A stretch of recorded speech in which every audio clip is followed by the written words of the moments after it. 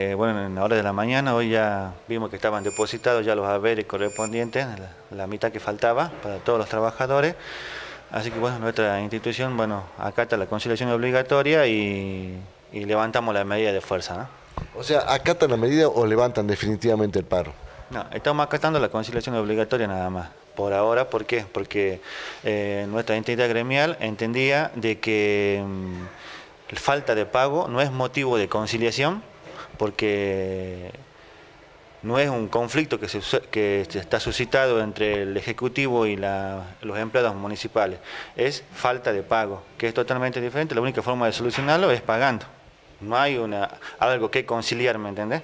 Entonces por eso es que nuestra institución tomó la decisión hasta que no se pague de no levantar la medida de fuerza. Bueno, ahora este, levantamos la medida de fuerza y tenemos la próxima reunión de conciliación el día miércoles en hora de la mañana en el Ministerio de Trabajo. ¿no? ¿Y ahí qué puntos se van a tratar?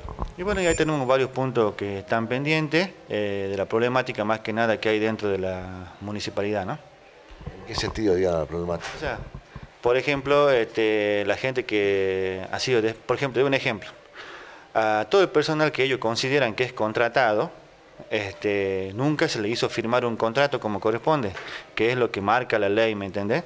Entonces, ellos al cometer esa irregularidad administrativa, el contrato no se ha perfeccionado. Y para nosotros, todos los empleados que para ellos son contratados, para nosotros son empleados de planta permanente. Así como esas cuestiones, hay varias cuestiones más que tenemos que definirlas en el Ministerio de Trabajo y seguramente esperemos, esperemos que el Ministerio de Trabajo este, pueda llegar a efectuar esas definiciones, aunque no, me gustaría ser optimista en este sentido, ¿visto? pero espero que, el, aunque sea por una vez, el Ministerio de Trabajo falle a favor de los trabajadores. ¿no? Bueno, en otro sentido también este, creo que van a comenzar a negociar, si es que se hace a nivel provincial, el segundo semestre en cuanto al aumento. ¿no? Sí, así es, está pactada para el día lunes la próxima reunión entre los gremios centralizados junto con la, el ministro Parodi. Bueno, seguramente ahí ya se van a definir este, los aumentos que se van a dar a nivel provincial y seguramente eso se van a, van a ser trasladados acá al municipio. ¿no? Bueno, que se pondría más difícil la situación entonces, ¿no?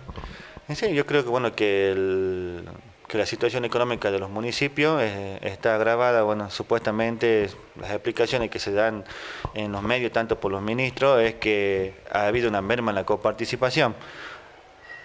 Así que yo calculo que si se mejora la situación económica, bueno, volverán de nuevo a los valores anteriores, ¿no? Bueno, ¿continúa la mutual aquí en la municipalidad? O sea, eh, te explico, con respecto, no es mutual, es un sistema de orden de compra que fue aprobado por una ordenanza, este, que es más que nada, fue creado en esos tiempos, bueno, para ayudar al empleado municipal para que tenga acceso a la compra en diferentes comercios. Hoy por hoy se ha presentado una situación de que los comercios, al no recibir los pagos correspondientes, han decidido no recibir las órdenes de compra emitidas por el municipio. O sea, no es que el municipio no quiere darlo, sino que los diferentes comercios al no recibir sus pagos correspondientes han decidido suspender.